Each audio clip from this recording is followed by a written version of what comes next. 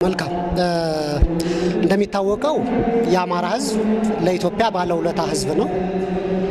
ይህ ሕዝብ ግን ባለፉት 50 ዓመታት በአጠቃላይ ባለፉት 27 ዓመታት ደግሞ በተለይ ከኢትዮጵያ ማህበራዊ፣ ኢኮኖሚያዊና ፖለቲካዊ ሕይወት ተገፍቶ ነበር።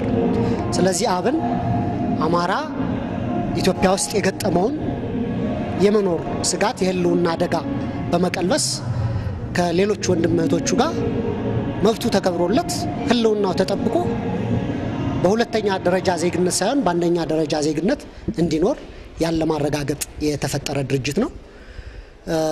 የዚህ መድረክ አስፈላጊነትም ከህዝባችን ጋር አብን የሚታገልላቸውን የፖለቲካ ፕሮግራሞች፣ አላማዎች በማስተዋወቅ የፍኖተ ሰላምና አካባቢው ህዝብ በአብን ዙሪያ ተደራጅቶ እንዲታገል ጥሪ ማቅረብ ራሳችንም ማስተዋወቅ ነው ማለት ነው። እጅግ በጣም ብዙ የማህበራዊ ኢኮኖሚያዊ ችግሮች አሉበት። የአማራ ህዝብ የፖለቲካም ችግሮች አሉበት።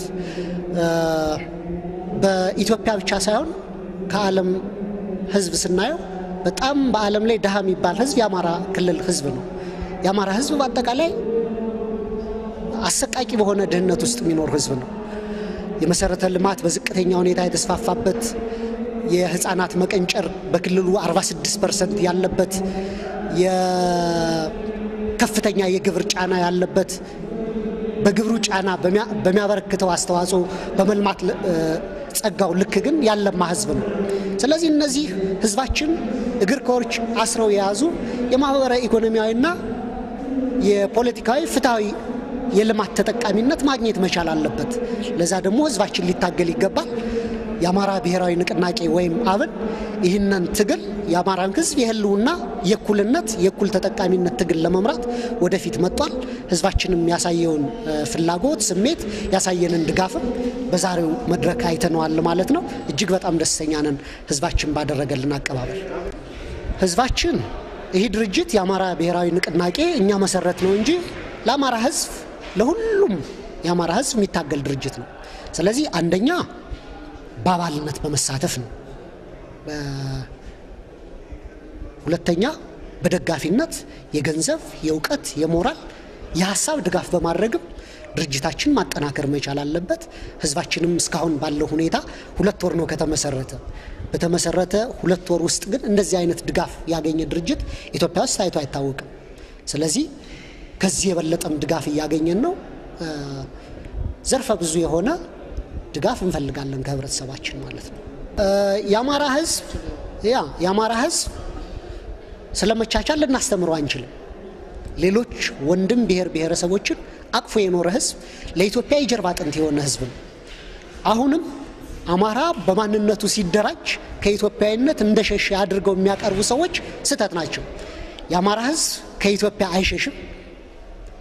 ሌሎች ሸሽተው ቢሄዱ እንኳ የመጨረሻ በመሸሽ የመጨረሻ የሚሆነው የአማራ ህዝብ እንደሆነ ሊታወቅ ይገባል። ስለዚህ ከሌሎች ወንድሞቻችን ጋር ምንም የሚያጣላን ነገር የለም። ዲሞክራሲ ኢትዮጵያ ውስጥ ከሰፈነ የመጀመሪያ ተጠቃሚ የሚሆነው የአማራ ህዝብ እንደሆነ ግልጽ ሊሆን ይገባል። ግን ደግሞ ሌሎች በብሔራቸው ተደራጅተው መብቶቻቸውን፣ ጥቅሞቻቸውን፣ ፍላጎቶቻቸውን ሲያስከብሩ የአማራ ህዝብ በማንነትህ ተደራጅተህ መብትህን፣ ጥቅምህን፣ ፍላጎትህን አታስከብር የሚሉ በትክክል የህዝባችን ወዳጆች ሳይሆኑ ህዝባችን ሁሌ እንዲጠቃ የሚፈልጉ ቡድኖች ወይም የፖለቲካ ኃይሎች ናቸው ማለት ነው። ያንን ህዝባችን አጥብቆ ሊቃወም ይገባል። እስካሁን አይተነዋል። በአንድነት የፖለቲካ ቡድን ውስጥ ተሳትፈን ብዙ ዋጋ ከፍለናል። ህዝባችን ሲፈናቀል፣ ሲሰደድ፣ ሲገደል ግን አንድም ሰው በአማራነቱ እየተጠቃ ነው ብሎ የቆመ የፖለቲካ ቡድን አልነበረም። ስለዚህ ያ ጊዜ አብቅቷል። አሁን በማንነታችን ዙሪያ ተሰባስበን ህልውናችን የምናስከብርበት ከሌሎች ዲሞክራሲያዊ የሆኑ የኢትዮጵያ የብሔር ድርጅቶች ጋር ሁነን ደግሞ ኢትዮጵያን ለአንዴና ለመጨረሻ ጊዜ ዲሞክራሲያዊት ሀገር የምናደርግበት አጋጣሚ ስለሆነ ይህ ሊታወቅ ይገባል። ትግላችንም ፍጹም ሰላማዊ እና ከህዝባችን ሰላማዊ የሆነ አኗኗር